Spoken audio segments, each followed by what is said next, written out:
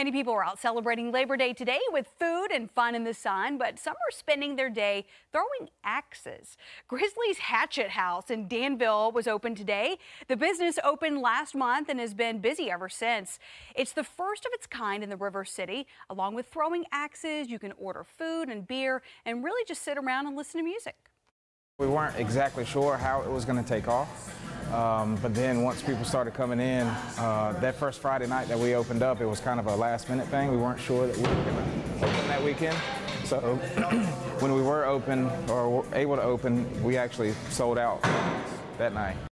That looks fun. The official grand opening is still being planned.